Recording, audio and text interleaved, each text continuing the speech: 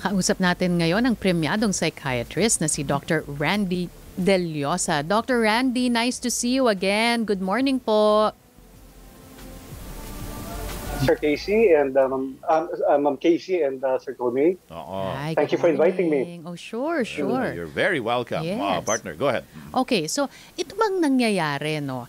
Ah, ito na nga, the UN is urging action as mental health takes heavy toll on workers. Ano ba tayo? Magtatatlong taon na tayo, no? Ano ang um, observation nyo po ah, sa nangyayari sa ating ah, mga workers po? Sa kanilang mental health? Yeah. Ah, well, of course, ever since the pandemic, no, syempre nabulabog yung mga yung lifestyles ng mga tao, yung yung mga routines nila. So, you know, even up to now, kahit ah, nag, ah, nag ilang taon na tayo with the pandemic, eh talagang nag-adjust pa rin yung mga tao. And they're very stressed, hindi lang sa personal na buhay, kundi sa social life nila at saka yung sa work life nila. Mm-mm. Ano ba yung mga psychological strains na matatawag natin ano na naguugat ah, mula sa workplace lalo na sa panahon ng pandemya? Yes, kung causes ang pag-uusapan, syempre ah yung ah yung mm, adjustments sa you know sa trabaho. Like for example, maraming changes nangyari with regards to how ah, people operate and ah, also yung sense of isolation and ah, hindi masyadong nagfe-face to face. So you know, even sa work, no, kailangan ng social interaction eh. Kasi kung nawawala yun, ah, nagde-decrease rin yung quality of the work. Mm-mm.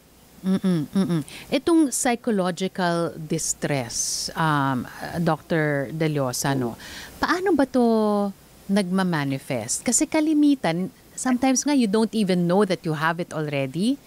Pero may nararamdaman ka lang. Pero paano mo ba ito madadiagnose? Kaya mo bang sabihin sa sarili mo na, okay, sandali, may psychological distress na ako, may psy- psychological strains na ako, o kailangan ba nila ng isang uh, dalubhasa katulad, katulad ninyo na makausap at ah, para malaman nga na ito na ang kanilang pinagdadaanan? Yes. Well, unang-una, no, magkakaroon sila ng sense of dissatisfaction. You know, ah, tayo usually, ah, pag pagod and satisfied, masarap matulog. Pero merong ah, kapaguran na parang ah, hindi na maganda eh. So at night, no, parang we feel na, you know, there's something really wrong. And so may mga senyales no na parang ah, na, na overburdened na tayo. Like for example, problems with the sleep. Hindi na nagiging ah, maganda yung quality ng sleep natin. And then minsan yung appetite natin either nag-overeat tayo or nag-undereat. And then yung sense of motivation parang nawawala, yung sense of enjoyment, yung focus, hindi na rin tayo makapag-focus ng mabuti, or else yung self-confidence nawawala. Uh, so, and, and of course, yung mga negative emotions. So, if you put them all together, ito na yung simula ng burnout. And kapag magpatuloy yung burnout, ah, ang kasunod nun ay depression or anxiety. Mm-mm.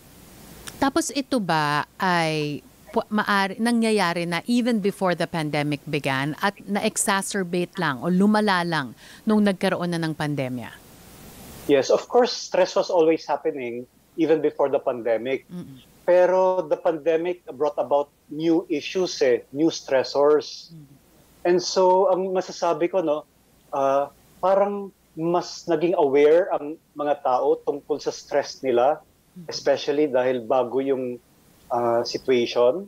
And then, ah, posibleng mas lumala at mas ah, dumalas yung pagkakaroon ng stress. Mm-mm. Pero pag pag-uusapan mo kasi yung ah, um, workplace from the perspective of your employer halimbawa, 'di ba ang trend ngayon all over is to streamline, to make um, the workplace more dynamic. Um, pero ang nangyayari, um, correct me if I'm wrong, is na overburden naman um, yung mga workers. So, ano ba ang um, may nakikita ho ba kayong maganda at hindi magandang naidudulot nitong streamlining trend? Yes, of course, uh, maganda yung streamlining kasi, you know, everything gets, uh, uh, works out smoothly. Pero of course, uh, tama naman kayo, uh, tama naman yung nasabi ninyo na ma-overburden naman yung uh, natirang workforce. Um, so, kapag skeletal ang workforce or mas konti, syempre uh, mababurden yung natitira. And then uh, they are they will be more prone to a decrease in the quality ng uh, work nila. And uh, of course yung social life nila, yung mental life, emotional life will also suffer. Mm-mm. So ano tingin nyo bilang panghuling tanong, uh, Dr. Deliosa, ano ang uh, dapat gawin, dapat mangyari sa pagitan ng employer at ng employees para nga, number one, mas mapangalagaan ang kanilang mental health which will lead to number two, more productivity um, for um, the workers and uh, the employers as well. Yes. Of course, uh, sa parte ng uh, employers, no, ang kailangan ay gumawa sila ng mental health wellness program. Okay? They have to think no uh, na mababurden yung workforce nila. So they need to come up with programs. And many companies are already doing this. Okay? Uh, sa part naman ng employees, ang importante sa kanila ay uh, isingit yung stress management program sa gitna ng uh, work schedule nila. So imbis na hintayin yung weekend or hintayin yung vacation, dapat every hour meron silang mga stress management program methods or techniques na sinisingit para ma-deload sila or ma-detoxify sa stress. Mm, itong pang-stress sa ano namin, stress buster namin, itong on the spot, uh, Dr. Deliosa, hindi mo lang natatanong. Kami ang uh, pinaka-stress buster. Uh, para really? sa mga uh, para sa mga tagapakinig din po namin.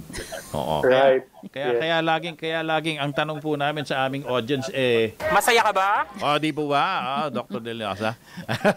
Tama naman po 'yun. Hmm. Oh, sa pakikinig sa inyo, syempre nababawas na yung stress nila. Sana. Oo. Sana, no?